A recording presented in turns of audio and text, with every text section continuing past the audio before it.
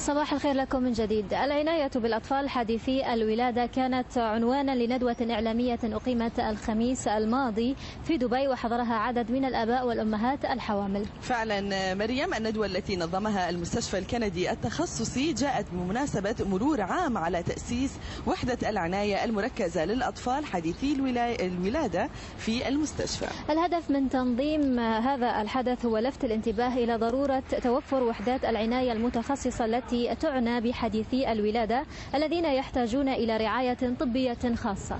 الندوة ركزت على أهمية أن يفكر الأهل إمكانية احتياج المولود إلى نوع من الرعاية الطبية بعد الولادة خاصة وأن الإحصاءات تشير إلى أن واحدة من كل تسع أمهات معرضة للولادة المبكرة. الندوة كانت مناسبة أيضا للقاء الأمهات الحوامل بأهالي الأطفال الذين تم علاجهم في وحدة العناية المركزة للأطفال التابعة للمستشفى والاستفادة من تجاربهم السابقة خاصة أن إرسال الطفل إلى وحدة العناية الخاصة قد يخيف بعض الآباء والأمهات بسبب قلة الدراية بدور وحدات العناية الخاصة بالأطفال.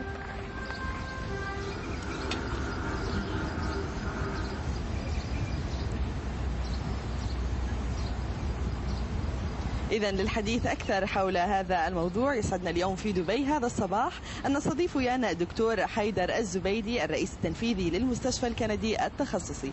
صباح الخير صباح دكتور وأهلا وسهلا فيك ويانا. صباح الخير بداية دكتور خلنا شوي نتكلم عن هالفعالية كيف كانت الفعالية وشو حصلت أصدائها بعد ما انتهت؟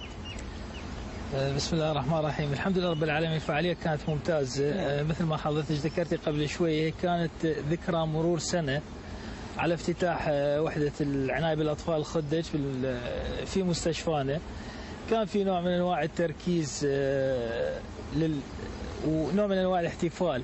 آه، جمعنا الأهالي اللي أغلب الأهالي اللي صارت كانوا أطفالهم بالوحده العناية بالخدج بالمستشفى. كانت كان بداية بداية الاحتفالية كانت نبذة عن افتتاح المركز. المركز. وبعدين آه، شوية عن الجنود المجهولين اللي كانوا خلف خلف الكواليس. جميل جميل. آه بعدين صار تعريف نوع من أنواع التثقيف عن الوحدة نوع من أنواع التثقيف عن الحمل بصورة عامة. كان بحضور الأهل أيضا دكتور؟ بحضور الأهل نعم. بحضور الأهل وبحضور الاستاف استاف المستشفى وحتى ناس في ضيوف من برا. نعم متخصصين أكيد ومهتمين. دكتور خلينا نتكلم عن وحدات العناية بالخدج في المستشفيات أساسا. الخدمات اللي تقدمها المهام اللي تقوم بها شو؟ طبعا هي لا شك إنه من أكثر من أكثر المراكز صعوبة هي مراكز العناية بالخدج وحديثي الولاده نعم. ولهذا تلقين المستشفيات تفكر ألف مرة قبل لا تخطو هاي الخطوة. هذا واحد من الأسباب اللي خلى آه، هذا هذا القطاع غير نشط آه، نعم. الامارات ولهذا في كمية كمية المستشفيات وكمية المراكز اللي توفر هاي الخدمة قليلة, قليلة مقارنة جداً. بالاحتياج نعم. سواء على المستويين المستوى الحكومي والمستوى الخاص.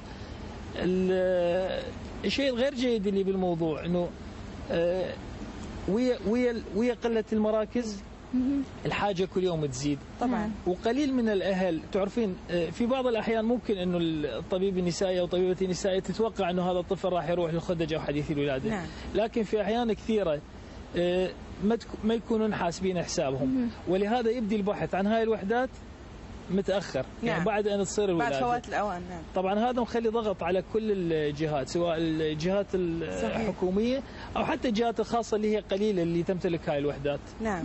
طب أيضا أهمية توعية الأهل دكتور يعني خاصة أن شهدنا الكثير من الأهالي حاضرين في في هالفعالية. أهمية توعية الأهل بهذا الأمر؟ إحنا أول آه، كبداية خلينا نشكر الأهالي اللي حضروا هاي الفعالية، الأهالي اللي حضروا هاي الفعالية نعم. حضروا للتقدير للتعبير عن تقديرهم وامتنانهم صحيح. للوحدة واللي قدمته الحمد لله رب العالمين الوحدة هذه أثبتت نجاح اليوم الإحصائيات اللي في هذه الوحدة إنه نسبة المشاكل نسبة الوفيات نعم 0% آه، نسبة الالتهابات تقريبا 1 أو 2% نعم. اللي هي هي حتى أفضل من كل الستاندرز اللي موجودة بالعالم. تابعين قاعدين نشاهد بعض الصور للفعاليه اللي اللي تمت وشايفين بعض بعض صور الأهل. نعم نعم. الأهل كانوا. حاضرين ب- بشكل كبير وبارز. نعم. دكتور حيدر لو تكلمنا شوي عن يعني الأطفال الخدج أكثر حاولنا ندخل في التفاصيل الطبية يعني آه، ما سبب أنا يعني يعني نجاة نقول الأطفال الخدج يعني؟ الأطفال الخدج آه، يعني لله الحمد في الآونة الأخيرة أنت قلت زادت الحاجة إلى مثل هذه الوحدات وحدات العناية آه، بالخدج وحديثي الولادة. ما هي الأسباب التي تؤدي إلى الولادة المبكرة أو أنه يكون في آه، يعني أطفال خدج؟ هي كبداية ما في أسباب مباشرة. في توقعات إنه مع زيادة آه، عمر الأهل آه، مع وجود بعض الأمراض عند الوالدة أو آه، أو الأهل آه، مع زيادة الامراض الانتقاليه اللي صارت موجودة أمراض الضغط أمراض السكر كل الامراض بصورة عامة. إضافة إلى بعض بعض الأحيان يكون نوع من أنواع الإهمال عند الأهل. نعم. آه، خاصة في موضوع ال- المتابعة متابعة قبل في فترة قبل الحمل. نعم مع الطبيب المختص. طب دكتور فينا نقول إن أحد أو ال- ال- الولادة المبكرة أحد أسبابها هي ال- ال- المشاكل القلبية التي قد يعاني منها الطفل لاحقا في المستقبل؟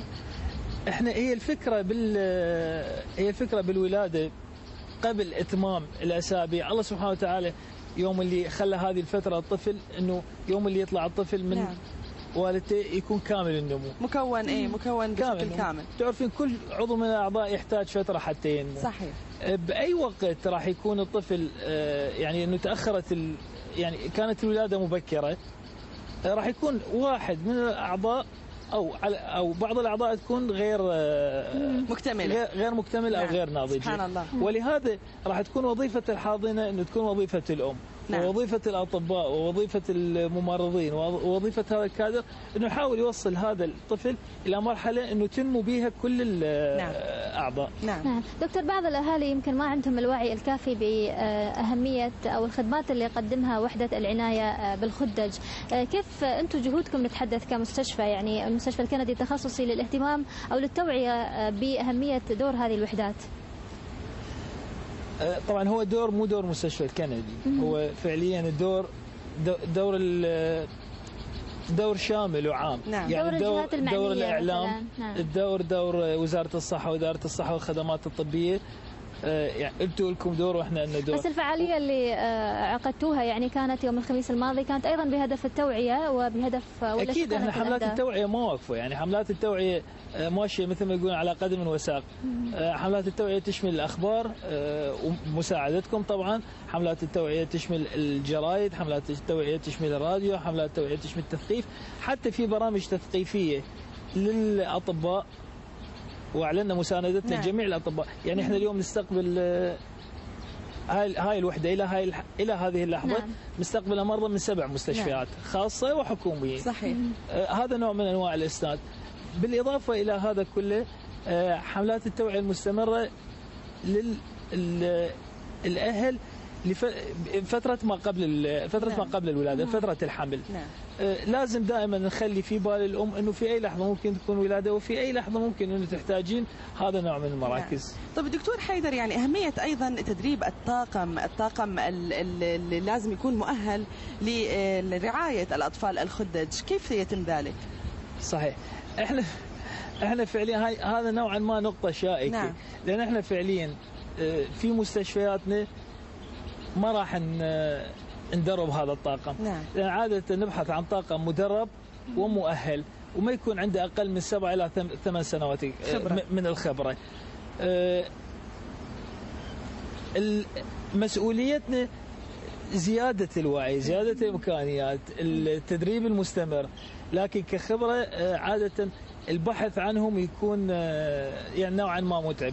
يعني يوم إذا دخلتي ال- الوحدة من هذه ال- ال- الأي الأي حاضنة أو الأي مكان في هذه الوحدات راح تشوفين ستاف عنده أكثر من عشر سنين خبرة وكل واحد من بلد. نعم. لأنه حتى حتى الحصول على هذا النوع من الكادر آه، صعب. صحيح بالفعل. نعم. دكتور آه، شو هي المخاوف أساسا اللي تواجه بعض الأهالي بالنسبة لوجود أطفالهم في مثل هذه الوحدات برأيك؟ إن كانت هناك مخاوف عادة. إحنا خلينا نتفق إنه هي لازم لازم يكون في مخاوف لأنه هي نعم. الوحدة من الوحدات الصعبة نعم. يعني أنت اليوم الطفل ما راح يدخل إلى وحدة العناية المركزة بالأطفال الخدج إلا إذا كان عنده مشكلة ومشكلة كبيرة يحتاج إلى عناية يعني الأمراض خاصة. البسيطة أو الأمور السهلة إحنا هذه ما نوقف عندها طبعا بس يوم الطفل دخل هذه الوحدة معناه لأنه حالته صعبة واحدة من الأشياء عدم اكتمال النمو أه، بمناسبة ملاحظة بسيطة أنه إحنا هاي الوحدة ما تستقبل فقط الأطفال الخدج الخدج نعم. فقط تستقبل الأطفال الخدج والأطفال اللي عندهم مشاكل. يعني مثل شو آه. المشاكل يعني مشاكل قلبية مشاكل يعني مثلا إذا شفتي أنت المقتطفات يمكن شفنا نعم، من عن ال- المؤتمر، عن من ال- المؤتمر نعم. دكتور شعيب سوى برزنتيشن بسيطة عن واحدة من الحالات اللي استقبلها من إحدى المستشفيات الخاصة بالبلد بعد أن عجزوا عن علاجه إنه كماش بالرئة يصير إحنا في الرئة فيها الرئة وخ- وبعد الرئة في غشاء نعم. آه هذا الغشاء يوم اللي يصير داخله هواء نعم. يضغط الرئة وهاي الرئة تضغط حتى على القلب وتضغط حتى على الرئة المجاورة صحيح. فتنكمش. واحدة من الحالات اللي سوى عليها هذه دكتور شايب برزنتيشن الطفل كان كامل النمو بس صارت عنده هذا النوع من المشاكل بمجرد وجود الطفل بالعناية المركزه هو الكبير إذا كان بالعناية المركزه فهو فيلم رعب للعائلة. صحيح. فما بالك إنه هذا طفل. آه هذه واحدة النقطة الثانية آه تصير عادة هذه النوع من من مشا من المشاكل اللي هي مشاكل الالتهابات. نعم نعم. مثل ما تعرفين أنت أكثر من طفل في مكان واحد إذا طفل كان عنده التهاب راح تبدي عنده مشاكل صحيح. ولهذا من الستاندردز اللي إحنا نتبعها إنه أي طفل يجي من أي مستشفى برا ما كانت الولادة عندنا داخل المستشفى مهم. يعني محال من إحدى ال- المستشفيات سواء الحكوميه أو الخاصة فهذا الطفل نستقبله في وحدة العزل بعدين نسوي له كل الفحوصات والتحاليل ويثبت إنه خلوه من الأمراض ذاك الوقت إنه ينتقل مع الأطفال الباقيين. نعم إذا نصيحة أخيرة أو كلمة أخيرة تقدمها للأهل اللي يتابعونا اليوم دكتور حيدر عن ال- اللي اللي هم أيضا يعانون من هذا الأمر ولديهم طفل يعني لازم يدخل في هذه المرحلة إحنا كبداية نصيحتنا لل- للأمهات الحوامل نعم إنه ال antenatal care أو أو فترة متابعة أثناء الحمل وقبل الولادة. هذه راح تغنيها عن مشاكل كثيرة. نعم النقطة الثانية دائما الأهل يخلون في حساباتهم أنه من الممكن في أي وقت أنه هذا الطفل يحتاج وحدة عناية بالأطفال الخدج نعم. فإذا ما كانت في مستشفى فيها وحدة عناية فعلى الأقل هم عاملين ترتيباتهم أو المستشفى عاملة ترتيباتها مع مستشفى ثانية أنه تستقبل هاي الحالة نعم.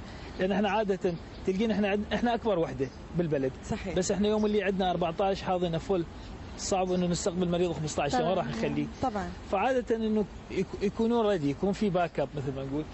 ال- النقطة الثالثة اللي هي آه، من النقاط اللي جدا مهمة. نعم. من أول يوم الحمل إلى آخر يوم الحمل كل مراجعة وكل نصيحة من الطبيب هو تكون آه، شيء مقدس عند الأهل. طبعا طبعا. لازم أخذها بحذافيرها والعمل بالضبط. عليها بحذافيرها. بالضبط بحذافيرها. وآخر نقطة إنه آه، يخلون ثقتهم ب- بأطباء ال- باطباء العناية كبيرة. كبيرة طبعا الخدج كبير.